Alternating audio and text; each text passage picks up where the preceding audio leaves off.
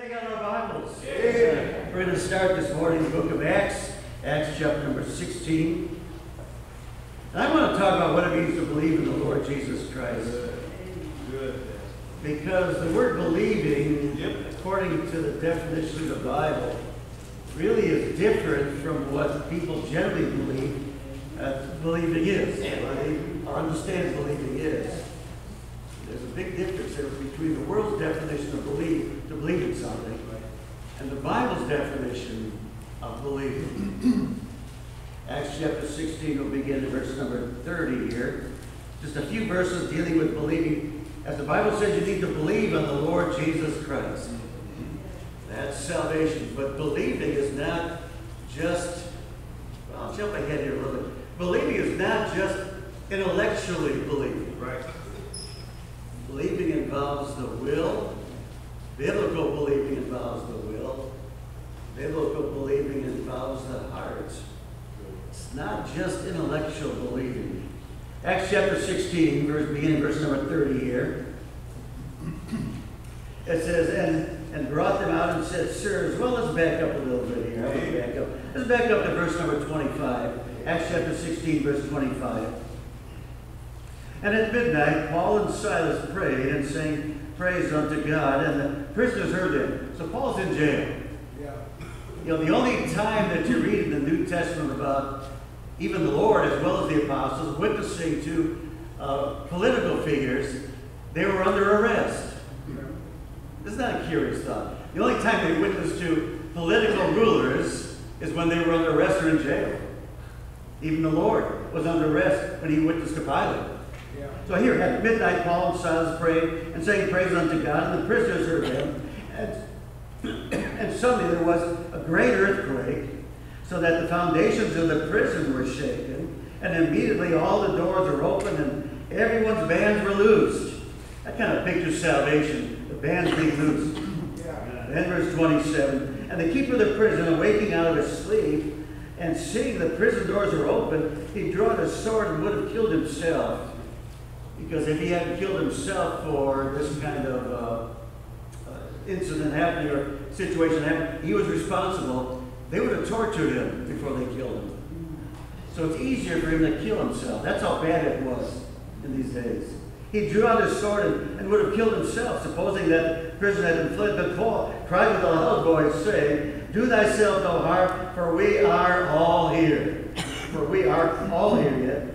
Then he called for a light and sprang in, came trembling, fell down before Paul and Silas, and brought them out, and, and brought them out, and said, Sirs, what must I do to be saved? Yeah. There's my thought this morning. Sirs, what, what must I do to be saved? How do you get saved? Saved, forgiven for your sins. Saved, right in God's sight again. Verse 31, and they said, here it is, believe on the Lord Jesus Christ, and thou shalt be saved. And then it says three more words, doesn't it? And thy house. That doesn't mean that if the father or the main person in the house gets saved, that everybody else is, is automatically saved too. It means their house, to believe in the Lord Jesus Christ, to right? be saved, they have to believe on him also. And the house. And they spake unto him the word of the Lord. They spake unto him the word of the Lord, and to all that were in his house, and other ones too. Heavenly Father, please help me as I preach this morning. Lord, I really do ask for, need your extra help today. Kind of tired, worn down, don't have the energy I like to have. So Lord, just bless now that I'll, you'll help me along that line. Because this time is so important. This time is so important, Lord. People are here. People that you love, people you care about, people you died for, Lord. Some are saved, some are Christians already, and some are not. Maybe even there's somebody that are not Christians but think they are. Lord, they're so deceived. I, I pray to lift that, uh, lift that unbelief, lift, lift that deceit that they're believing right now too. But I pray, I pray, Lord, that the gospel be given out clearly, that you give me extra help today, Lord, this morning, because I have kind of worn out from all these things. But I want to preach good today. I want to make it clear. Help me to do that, please. In Jesus' name I pray now. Amen. Amen. I want to talk about what it means to believe in Jesus Christ. Turn, if you would, to John, Gospel of John, now chapter 20 and verse 28. We'll start there. But to believe in Jesus Christ, there's seven things I listed in the bulletin under the first three categories there. I don't know if you noticed that or not, but the first three points in my outline list seven different things. I want to add one more thing to that also about who Jesus Christ is. And you need to believe these things to be a Christian. You need to believe these things. John chapter 20, we're talking about Thomas here. John chapter 20 and verse number uh, 28 and 29. Thomas was the one that doubted whether the Lord really had appeared, whether he really had resurrected from the dead. And so the first time the disciples met together, uh, Thomas was not with them, but now this is the second time, and he is here. And the Lord shows himself to Thomas. In fact, as the Lord appeared to the disciples here the second time, that was the Lord's first order of business to deal with Thomas, talk to Thomas. Then verse 27, Then said he to Thomas, Reach hither thy finger, and behold thy, my hands, and reach hither thy hand, and thrust it into my side, and be not faithless, but believing. Now there's our word, believing. And Thomas answered and said unto him, My Lord and my God. Friends, that's salvation. Yep. That's salvation. Thomas, if he wasn't saved before that, he certainly is now. My Lord and my God. This says in verse 29, Jesus shows that this is a definition of what believing is. Verse 29. Jesus saith unto him, Thomas, because thou hast seen me, thou hast what? Believed. What is believing? He believing on the Lord Jesus Christ. Because you've seen, you believe. But the Lord's going to talk about another group here in the second part of this verse. Blessed are they that have not seen and yet have believed. Amen. The, Thomas here and the apostles, they saw the Lord Jesus Christ, and Thomas believed, and he said his definition of believing is having Jesus Christ as his Lord and God. My Lord and my God. That's salvation. Then Jesus said to him, Because you've seen, you believe, but blessed are those that have not seen and yet believe. In other words, you do not have to see Jesus Christ to believe. You don't have to see Jesus Christ to be saved, become a Christian. You don't have to see him. You can believe uh, through other ways, other means. But if you see me, you believe. That's okay. But what about those that have not seen? Let me say this too. This morning, everyone who hears this morning that is a Christian, you have not seen Jesus Christ. But you're still a Christian. Because you believed in him through his word, the Bible. Now, I'm going to bring up eight things that Jesus Christ is. I'll talk about them quickly, shortly, not a lot of information about each one. But then we'll get into the second part, which I want you to apply personally. Let's talk about who Jesus Christ is. Seven things. First of all, he is God himself. Amen. Thomas, uh, Thomas said right here, my Lord and my God. To believe on Jesus Christ to the point of being saved, you have to believe that Jesus Christ is God. In fact, you have to accept him as your God. So number one, Jesus Christ is God. Number two, the Bible says in many, many, many other places, he's also the creator. He created all things. He's not Jesus the evangelist. I'm sorry, he's not Jesus the evolutionist. Right. By the way, he is evangelist. He's not Jesus the evolutionist, but he is the creator. Time and time again, the Bible talks about it. Yeah. First book in the Bible, first chapter in the Bible, first verse in the Bible. What is it? In the beginning, God created heaven and earth. Created. First book in the Bible, first chapter in the Bible, first verse in the Bible talks about what? Creation. Creation. So we believe on him as God, you have to believe on him as creator, you have to believe upon him as judge, he's the judge. Friends, if he's the judge, there's going to be a judgment. You don't have a judge unless there's a judgment coming up. And there's a few different kind of judgments coming up. But Jesus Christ is the judge. He's going to judge those at the great white throne judgment. Those that have never believed in the Lord Jesus Christ have rejected his love, his salvation, but he is judged. And because he's judged, there's going to be a judgment. And by the way, there's a judgment for Christians too. The Bema seat, we call it. That's when we stand before the Lord Jesus Christ ourselves. Christian, are you looking forward to that? or not? Are you sure what's going to happen at that day? Now, we're not being judged for our sins. Everyone who's at the Bema seat of Christ will go to heaven.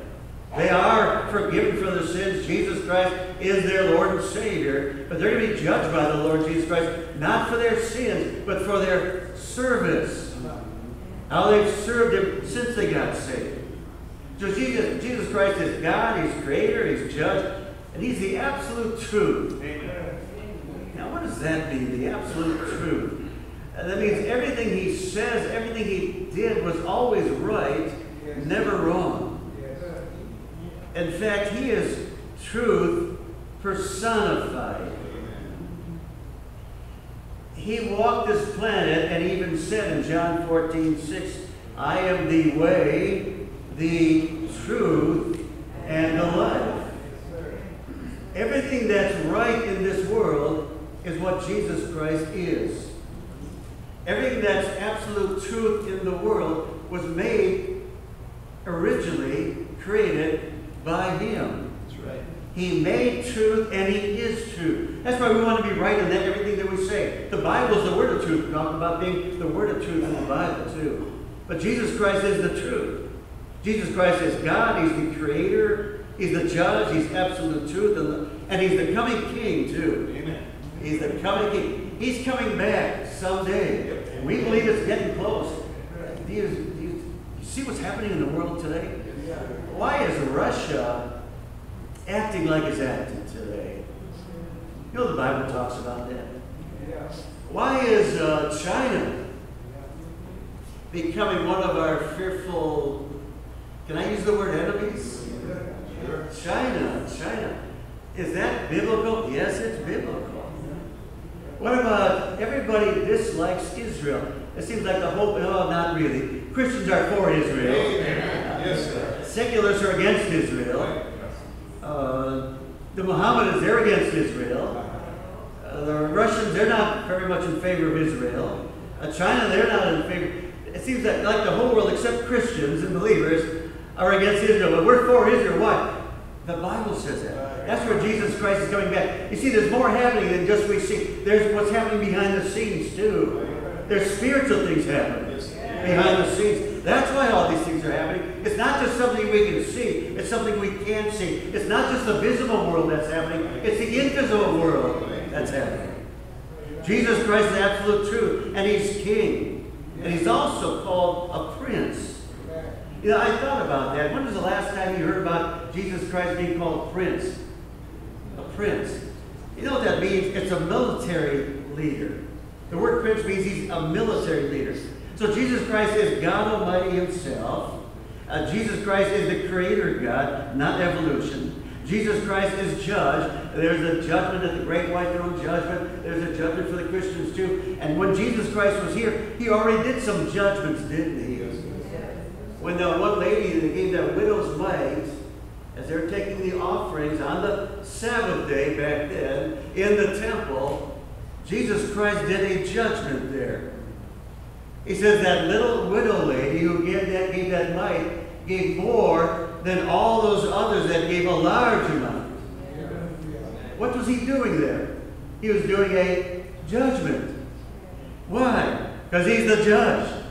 All judgment is given unto the Son. So he's God, he's creator, he's judge, he's absolute truth. He is king, he's a prince, he's the Lord. Look at Luke chapter 6, verse 46. This is one of our favorite verses around here. Luke chapter 6, verse 46.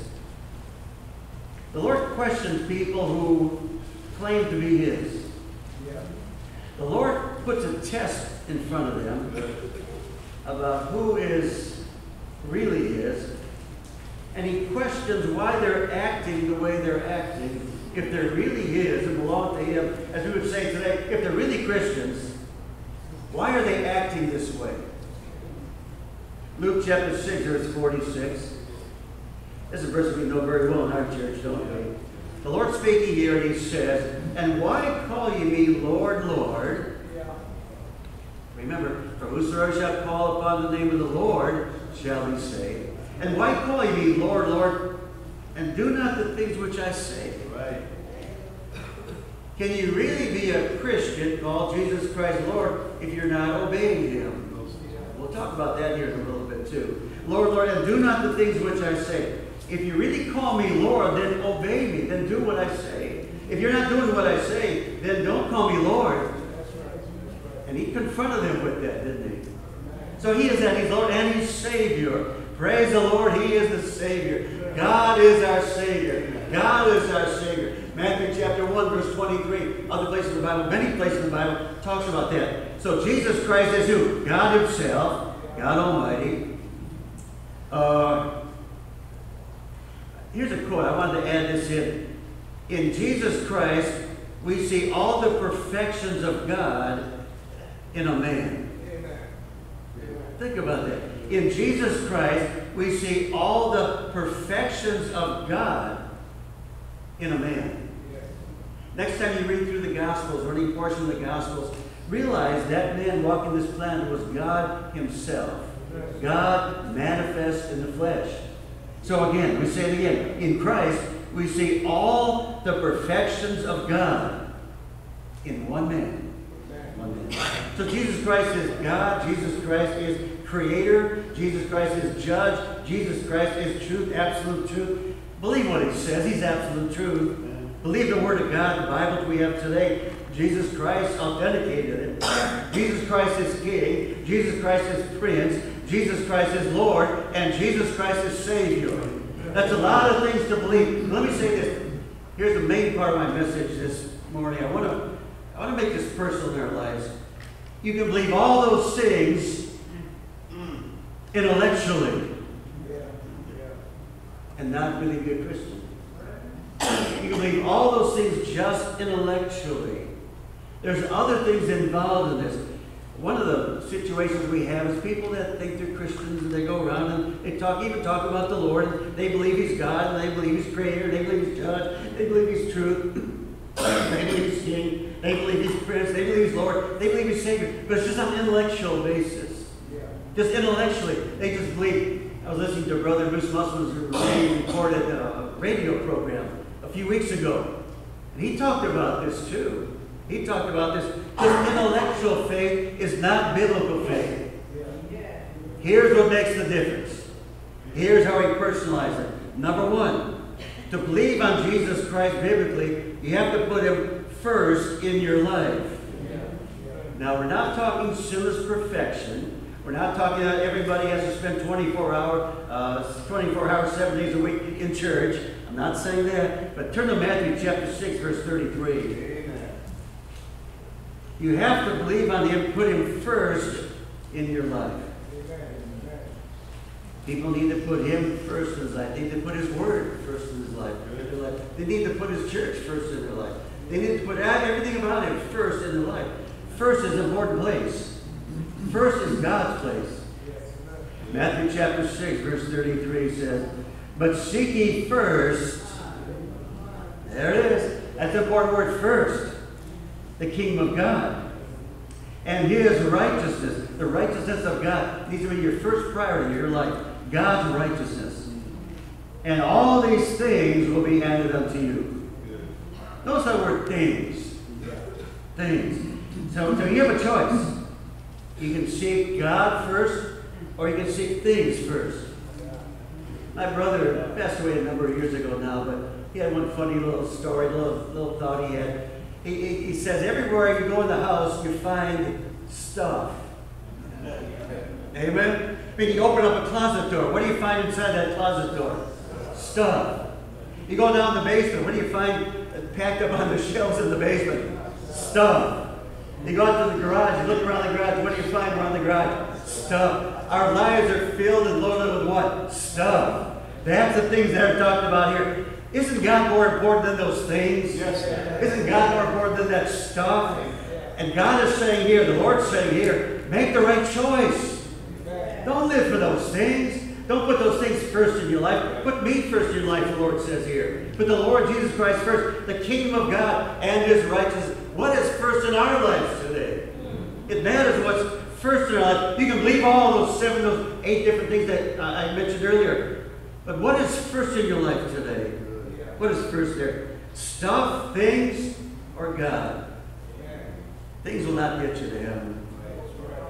on the Lord Jesus Christ will. But what is first in your life? And doesn't he deserve first place? Here's a question I want, I want to stay with you this morning. What is more important than him? What deserves first place in your life other than him? What he said is true, in the Bible. The way he acts, what he promised, what he prophesied. All the blessings that he can give.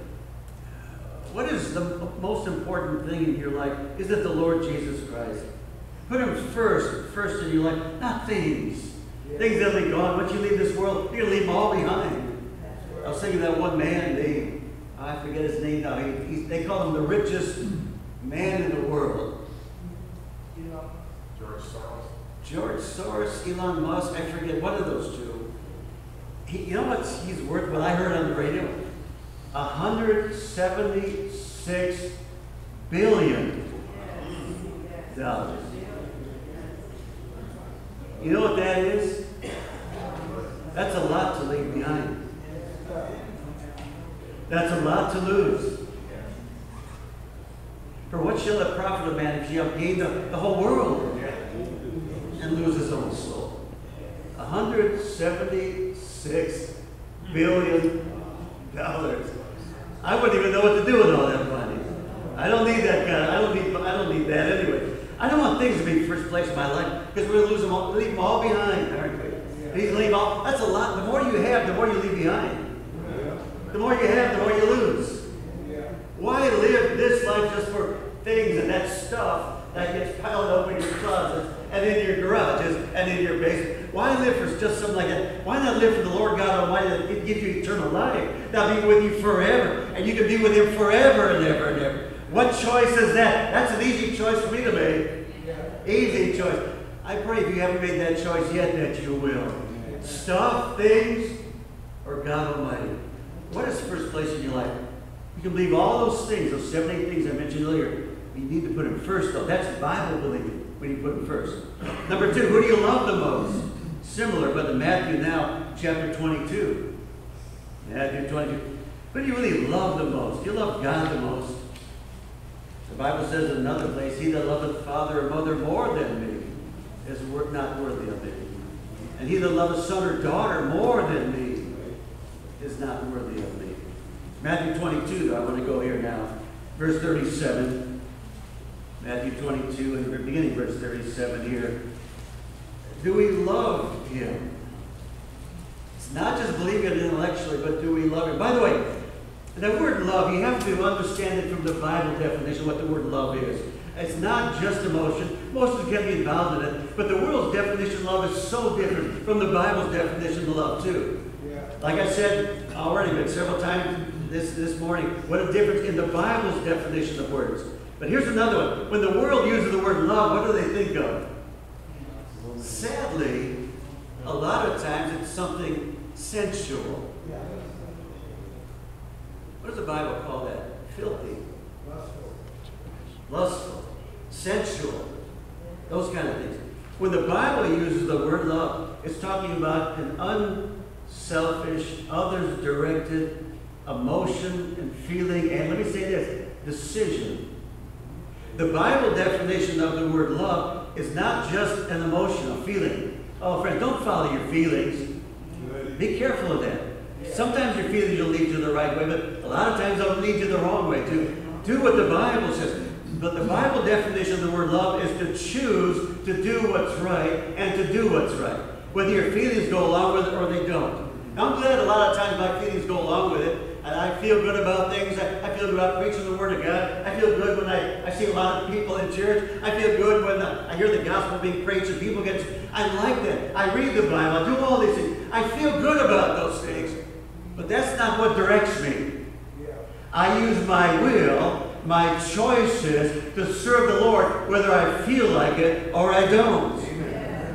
Like I've said recently, emotions are the caboose on the train. They're not the engine. And they're not the cars. They're just the caboose. They just follow along. So be careful, be careful there. Matthew 22. Now let's read this. Matthew 22, beginning at verse, uh, verse 35. Matthew 22, beginning verse 35. It's always good to get the setting of these verses and why they're happening. In fact, go back up to verse 34. Amen. Matthew 22, verse 34. But when the Pharisees had heard that he had put the Sadducees to silence, now the either, of course, is the Lord Jesus Christ, they were gathered together. Now, verse 35. Then one of them, you know, it's always, uh, takes some kind of, a type of courage to be one, to speak up when others are keeping quiet. Then one of them, which was a lawyer, it's not all a bad thing, asked him a question. Now, here's the motive in back of his question, tempting him though. He was not asking him a question to learn something. It was not a sincere question. It was a tempting question. Yeah. Ask him a question, tempting him and saying, Master, now Master, that's not bad. That means teacher. If he'd have said Lord, that would have meant something a whole lot different, wouldn't it? But he doesn't say Lord there, he says Master. That says something right there. Master, which is the great commandment in the law? Now, commandments, commandments. People don't like commandments. But notice what Jesus says here in verse 37, how he defines, how he defines the commandment. Jesus said unto him, Thou shalt love the Lord thy God with all thy heart, with all thy mind, and with all thy mind. This is the first and great commandment. You know what here it says in verse 38? A commandment, God's commandment is to love. Yeah. Love is a commandment. If you don't love somebody, you need to. It's a commandment. Because we can choose to do that by acting in a certain way. It doesn't matter what our feeling, feelings are at times. We need to love people because it's God's commandment to love people in the right way. Again, not the world's definition. Their, their definition is filthy. Their definition of the word, uh, love is so wrong, so unbiblical. We need to have the right biblical definition of the word love and then do that. Then do that. This is the first and great commandment. To love, love is a commandment. God commands us to love. To act lovingly towards people, even if we don't feel like it. Friends, don't let emotions run your life. Good. Your emotions are running you off, a, off the edge of the cliff. Your emotions will lead you to be angry. Your emotions will lead you to be discouraged. Your emotions will lead you to be depressed. Right. Your emotions will lead you to quit. Yes. Be careful of your emotions. They're not always your friends. Do what God says, whether you feel like it or not. And then after you do that, you're going to find your emotions go along with what you what they should be. Your emotions will change. There's joy, joy in a person's life because they, they come out to church. Inviting people out to church, there's a joy here in this church building. Uh, Christians have a joy in their life. But let me, let me move on. But this is the first great commandment, and then it continues on. And the second is like unto it. And guess what? It also talks about love. The second commandment talks about love too. Not the world's definition of love. Not a lustful kind of love. Not a selfish kind of love. Not a sinful kind of love. But a Bible kind of love here. In verse number 39 it says, love in the definition of commandment here too.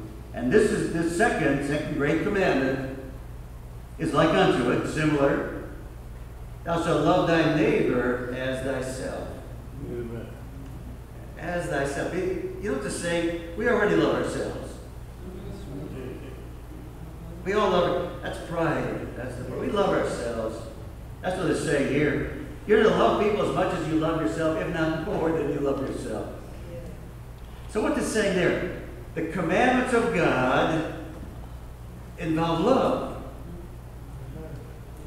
See, we people criticize the commandments. Oh, that's legalism. No, it's not legalism. Not if you understand the Bible definition of commandments. It's love. Real love. Not worldly love. Not sensual love. Not that kind of love. Real love, where you decide, choose to serve the Lord Jesus Christ. Whether you feel like it or you don't. Emotion, emotions can be involved, absolutely. That's part of our makeup too. But if you really love God, really believe on Him, you're going to love Him by the Bible definition of the word love.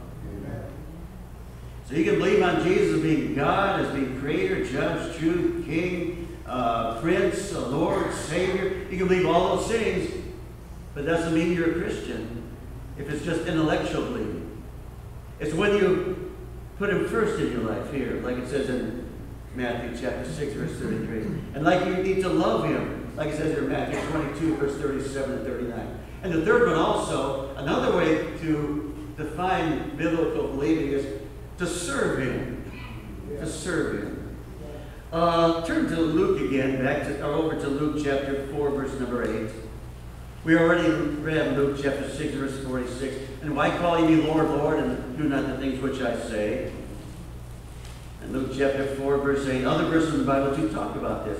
When a person really is a Christian, they want to serve the Lord Jesus Christ. When the Apostle Paul got saved there, when he got saved, that day he got saved, recorded in the Bible in the book of Acts, the first thing he says is, What wilt thou have me to do? Yeah.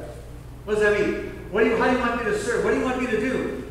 You're turning, he turned his will over to Jesus Christ that day. That's what salvation is turning your will over to serve the Lord Jesus Christ, to obey the Lord Jesus Christ.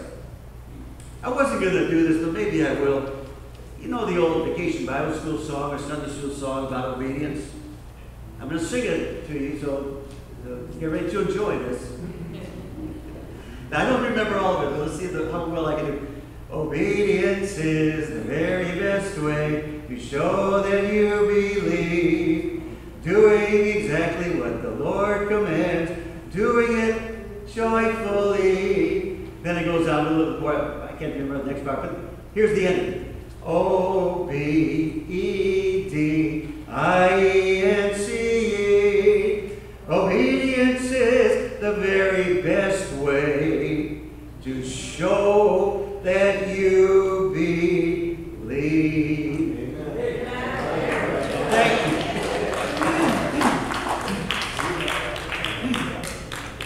Are we? True. Are we? Luke chapter 4, verse number 8 here says, Thank you.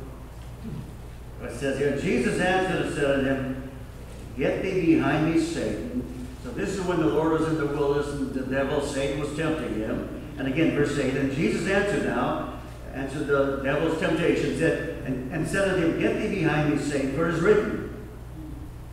You see, sometimes even people that don't believe the Bible can quote some of the Bible. Right. And how do you answer that? Well, answer like the Lord did. Quote the Bible. Good. Get thee behind me, Satan, for it is written. There's a good way to deal with it. Thou shalt worship the Lord thy God. Amen. And him only shalt thou. See? Get it? You understand what I'm trying to say this morning? You can believe all those six, all those eight things I mentioned earlier. I'm not going to go through that list again. You can believe all those things, but unless you have, have put Jesus Christ first, not, not, I'm not talking sinless perfection. I'm not talking about Christians being perfect. I'm not saying that, but I'm saying it's an attitude we need to have to put Him first in our life. And when we have decisions to make, we, we consider what His will is and what His Word says about it, and we're going to do what Jesus says first in our lives. Number two, we need to love Him. Again, that's not the world's definition of love. Be careful of that. I think I made that clear. But we need to love Him with a Bible love. Choose to reject sin, self, and yeah, Satan too. But also to serve Him, serve Him. To serve the Lord Jesus Christ. So Jesus answered the devil when he was tempted by, It is written, Thou shalt worship the Lord thy God, and him only shalt thou serve. No serving, it makes you wonder. No obedience, it makes you wonder. No love for the Lord and all the things of the Lord, it makes you wonder about people. I'm not causing you, I was, I was going to say this, I'm not causing you to doubt your salvation, but I'll, I'll, I'll back up on that. Yes, I am. Good. Because I want you to be concerned enough to look in the Word of God. That's my point.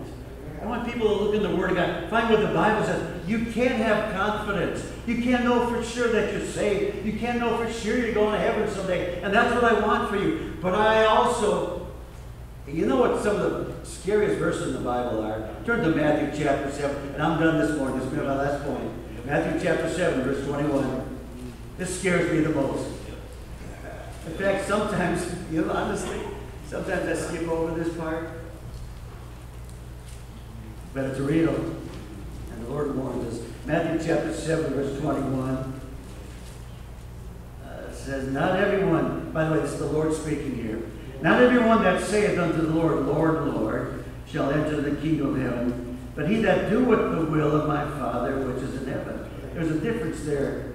Again, not perfection, not Christians aren't perfect, but there's a difference in attitude. Now, verse 12, 22. Many, how many? Many, a lot, will say to me in that day, Lord, Lord, have we not prophesied in thy name? Prophesied, we preached the word. And, and to thy and in thy name have cast out devils. Mm-hmm. Spiritual power to do those kind of things. And in thy name done many, many wonderful works in the name of Jesus Christ. Done many wonderful works. Now look, look at verse 23. If you dare. Mm. I dare you to look at verse 23 now. The Lord's answer.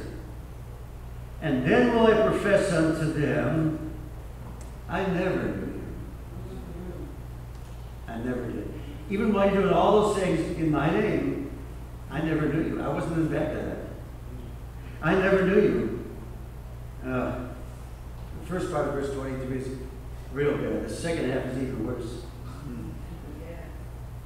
Depart from me, that work iniquity. Yeah. Boy, the confidence and assurance that the Lord can give when a person's really saved. But there's so many people in this middle area too, middle area. Yeah, you can believe, you can believe a lot of things about the Lord and not, it's just intellectual, not go to heaven. You can believe He's God. You can believe, go to the right kind of churches that preach the deity of Christ. You can believe He's creator. They, take a stand against evolution. You can believe that. You can believe judge. He's true. He's the king. He's the prince. He's the Lord. He's the Savior. He's coming back a second time. You can believe all those things. Or are those last three points true in your life? Mm-hmm. About real Christianity. Is He first in your life? Mm-hmm. Here's an old illustration I've used many times in our church. So our, our regular people, please forgive me for using this again.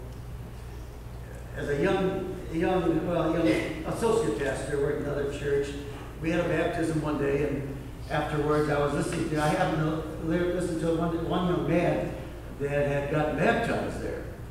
I was listening to him, he was talking to someone else, and he said, Well, now that that's all over with, meaning a baptism, I can get on with my life. And I think about that, I'm thinking, you know, when a person really believes in, on the Lord, Jesus Christ becomes their life. Good, Pastor. Amen? If someone really has believed in the Lord, Jesus Christ becomes their life. The Apostle Paul then wrote, Lord, what wilt thou have me to do? A surrendered will. You can believe intellectually a lot of things about the Lord, but unless those last three points are true in a person's life, there's not real salvation there, friends. Please, please understand what I'm saying this morning. Heavenly Father, thank you for this time. Thank you for the invitation we're about to have now. Thank you for all those that are here. But I want to take a couple minutes, five minutes, and have this invitation time too. I pray, Lord, you work in people's hearts. For those that are saved, praise the Lord. They'll understand it better and rejoice even more. And will have even greater confidence. For those that are not saved, they'll understand that too, please. In Jesus' name now, I pray that you'll bless this prayer time, this invitation time. In Jesus' name, amen.